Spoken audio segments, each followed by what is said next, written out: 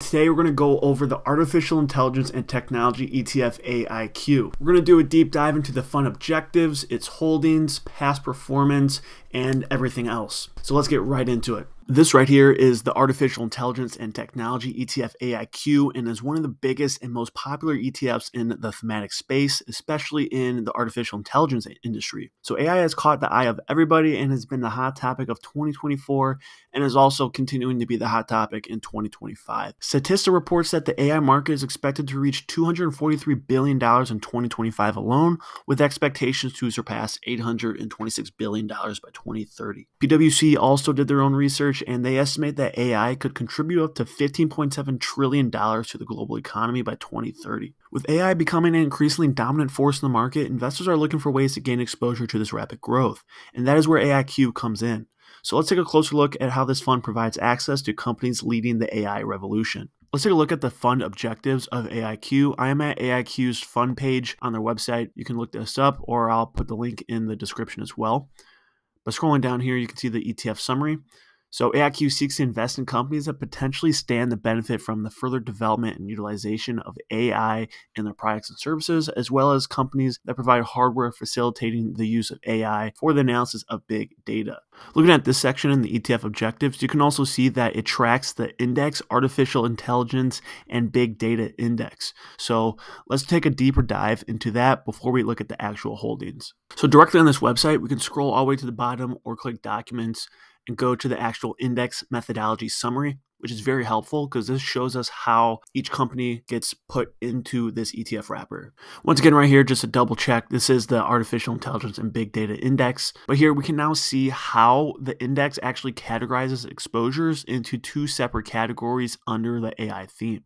So right here we have category one, artificial intelligence developers, which are companies that create AI technologies and integrate them into their own products and services, which includes machine learning software, automation tools, virtual assistants, and advanced data analytics platforms. In the second part right here, we have artificial intelligence as a service, which are companies that provide AI capabilities to customers through cloud-based platforms, APIs, and software solutions, which enable businesses to integrate machine learning, natural language processing, and automation without building their own AI infrastructures. And then here we have category two with two different subsections. One is artificial intelligence hardware, which are companies that manufacture essential components like semiconductors, memory storage, and specialized AI chips, which power the machine learning models. And then also here we have quantum computing, which are companies that develop advanced computing technology that leverage quantum mechanics to perform complex calculations at insane speeds with applications for AI, cryptography, drug discovery, and financial modeling as well. And you can see here at the bottom that the top 60 companies from category 1 and the top 25 companies from category 2 will form the index. So reading this, you could tell how the index weights itself. So you can see that it provides more emphasis on category 1 over category 2. And then here we have the selection pool. So this means that in order for companies to be selected into those categories or put into those categories, all the companies need to meet these minimum requirements. So bullet one here is that the minimum market cap of $2 billion if they're part of category one and $500 million if they're part of category two. So for category two, they're willing to let their companies be a little bit smaller, maybe higher risk, or there's just not as many companies doing these and they're allowing more companies to be a part of it. Second bullet here is the average daily turnover of at least $2 million over the last six months for both categories. This essentially just means that they want these companies trading at a certain volume so that they're somewhat liquid enough to be traded, bought, and sold into these baskets. Bullet three here is just essentially saying where the stock needs to be listed. Um, I'm not going to name all these countries you can see here, but generally some of the biggest countries United States, Canada, Taiwan, South Korea, and some other companies. Bullet four here is traded on 90% of the eligible trading days in the last six months. And then lastly here, free float percentage of total shares outstanding of at least 10% or a minimum free float market capitalization of a billion dollars. Here we also have the weighting scheme, which requires a minimum weight of at least 0.3%. And lastly, the index undergoes regular updates to ensure it remains aligned with its investment strategies. Specifically, the annual reconstitution to add or remove its holdings occurs on the last trading day in January and then the semi-annual rebalance of the weighting of the stocks occur on the last trading day of July. So now let's take a look at the top holdings. Right here, you just click this button and it goes directly to it. So when you quickly glance, you could see there are tons of familiar names out here, extremely big brands. Um, a couple Chinese companies, Tencent, Alibaba, some of the main uh, Mag 7, such as Apple, Meta. You even got Netflix in here. Here's Amazon, Microsoft, Nvidia. You have some other Asian companies such as Samsung. You have some other legendary companies such as Cisco, as well as IBM.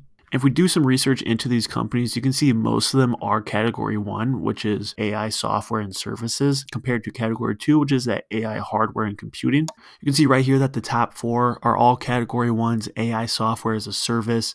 Tencent, right here, which is the biggest holding, develops AI services and has natural language processing for its social media and cloud platforms. Alibaba offers AI solutions as well as their own type of chat GPT in China. Apple integrates AI into their devices. Meta already has their own AI, Meta AI, built under Llama.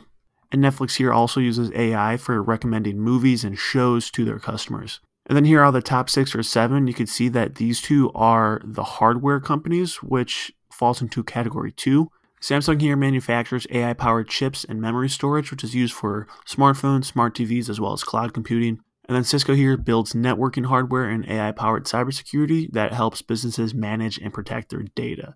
The top holdings list gets refreshed every single day, and you can scroll to see every single company that is involved.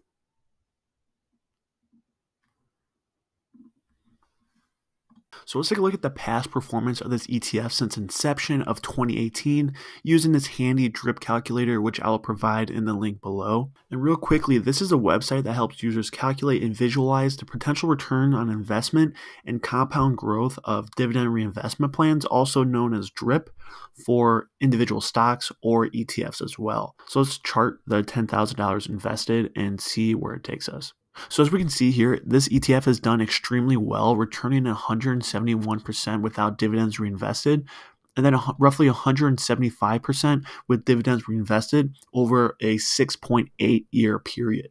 So average annual returns, if your dividends are reinvested, are roughly 16% over the 6.8 year period, which is very solid. But as always, past performance does not promise future performance, so let's keep that in mind. Now, lastly, let's take a look at some of the key numbers of the AIQ ETF.